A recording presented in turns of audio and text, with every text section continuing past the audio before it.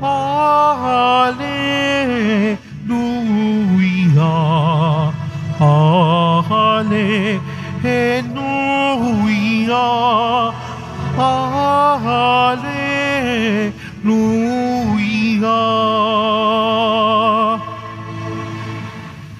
Sumainyo ang Panginoon. At sumaiyo rin. Ang mabuting balita ng Panginoon ayon kay San Juan. Papuri sa iyo, Panginoon. Noong panahong yun, si Jesus ay tumingala sa langit. Nanalangin at ang wika, Amang banal, ingatan mo sila sa pamamagitan ng kapangyarihan ng iyong pangalan. Pangalang ibinigay mo sa akin upang sila'y maging isa, kung paanong tayo'y iisa. Habang kasama nila ako, iningatan ko sila sa pamamagitan ng kapangyarihan ng iyong pangalang ibinigay mo sa akin.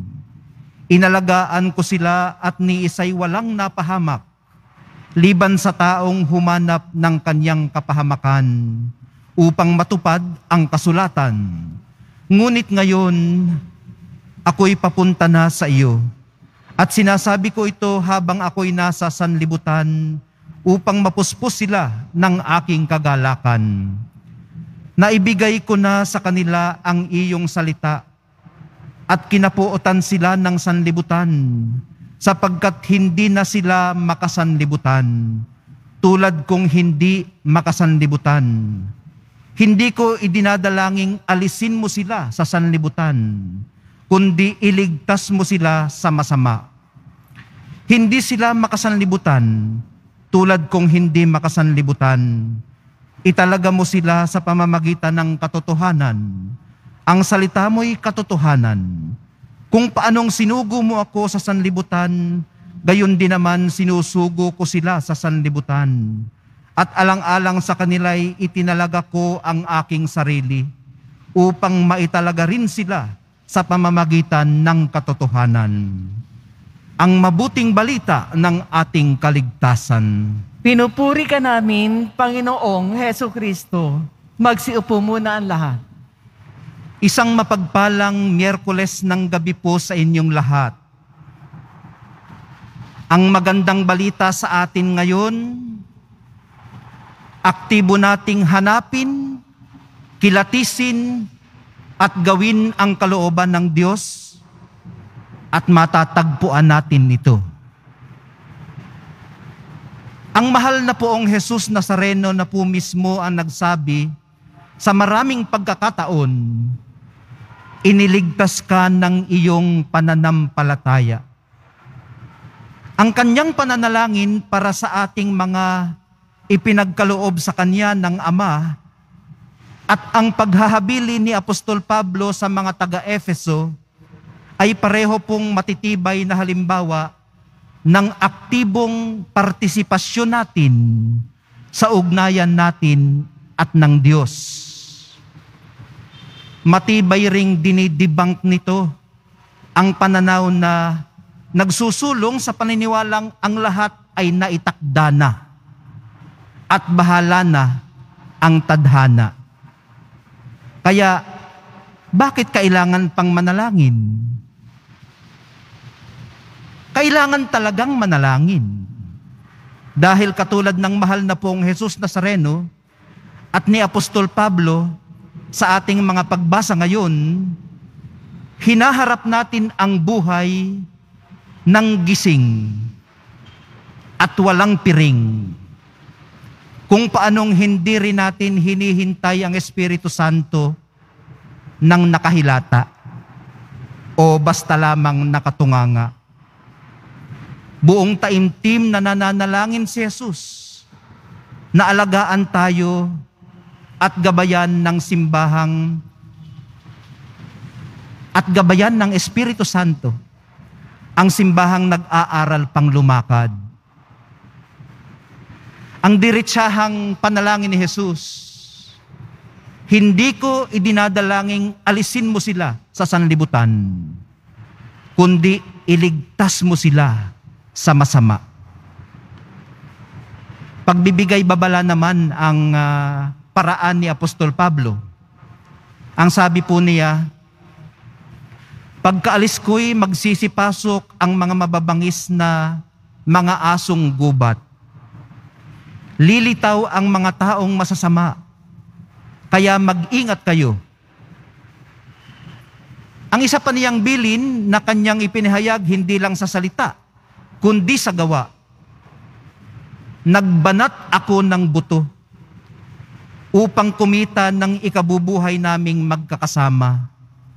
Sa lahat ng pagkakataon, ipinakita ko sa inyo na sa pamamagitan ng ganitong pagpapagal ay dapat ninyong tulungan ang mahihirap. Sa madaling sabi po, ang ipinantulong niya sa mahihirap ay pinagtrabahuhan niya. Kailangan talagang manalangin. Dahil si Jesus po mismo ay nire-recognize ang existence ng evil one. At hinilingan niya na iligtas tayo roon. Pero kung tayo po ba ang mananalangin para sa isa't isa, uubra po ba ang ating panalangin? Does prayer work at all? Ulitin ko lang po yun. No? Does prayer work at all? Bakit pa sinabi ni Jesus na anuman ang hilingin ninyo sa aking pangalan ay ipagkakaloob sa inyo? Kung alam naman niyang mananalangin naman talaga tayo ng paggaling na maaaring imposible.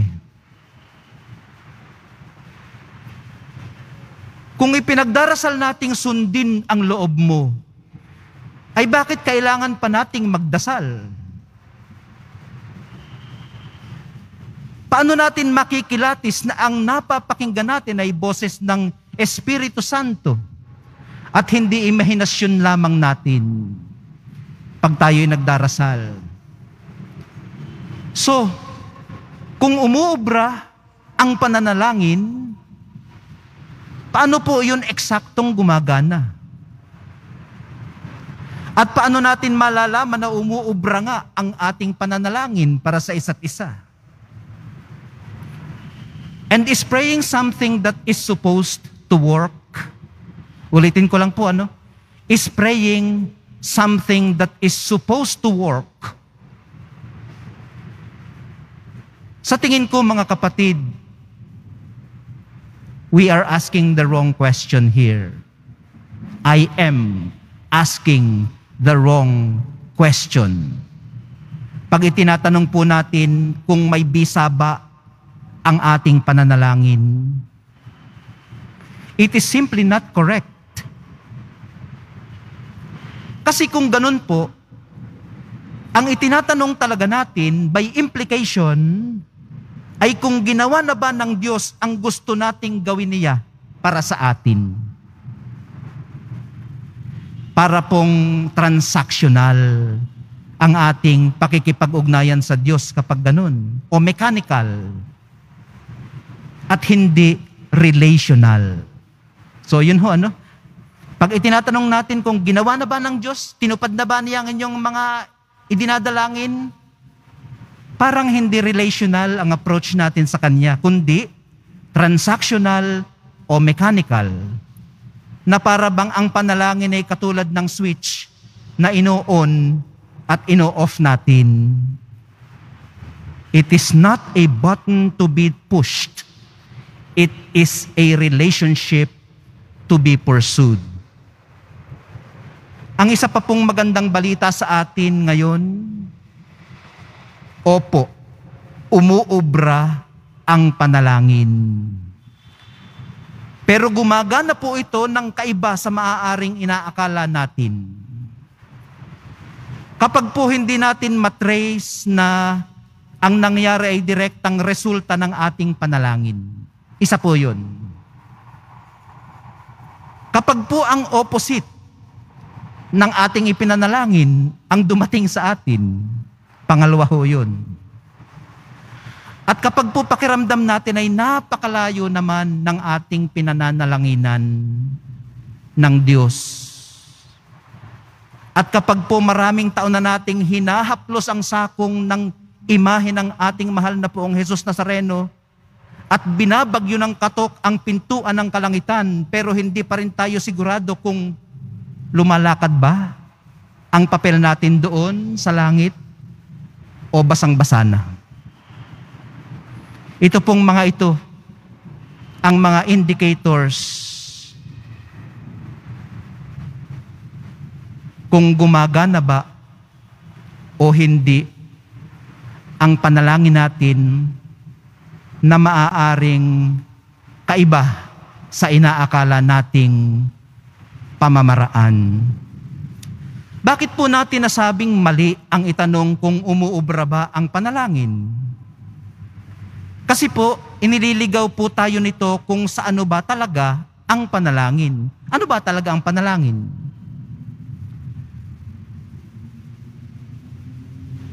Ang pagtahan po kasi ng ating kalooban sa piling ng Diyos ay higit pa sa maaaring i-describe natin sa pamamagitan ng mga salita. Yung pong ating pakiramdam na at home tayo sa Diyos. Pumupunta tayo halimbawa sa Quiapo, nananalangin tayo, pakiramdam natin nakauwi tayo sa mahabang paglalakbay sa buhay. Nakashelter tayo, nakatahan tayo. Paglalakbay sa buhay ng umuulan, butas pa ang payong natin, ganong pakiramdam. Pero pag uwi natin sa Diyos, pakiramdam natin ay salamat Lord. Nakauwi ako sa iyo.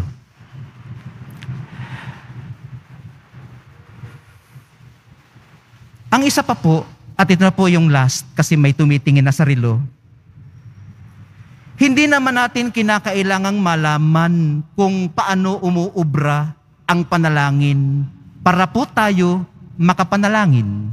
Ulit po, ulit. Hindi po natin kinakailangang malaman kung paano umuubra ang panalangin para po tayo makapanalangin. Si Jesus po mismo at maging si Apostol Pablo ay maraming luha ang pinuhunan sa paghahandog ng mga panalangin at mga daing na sumisigaw ng malakas. Dininig po sila ng Diyos sa langit, hindi dahil sa kanilang sigaw at luha, kundi dahil sa kanilang pananalig at banal na takot sa Diyos.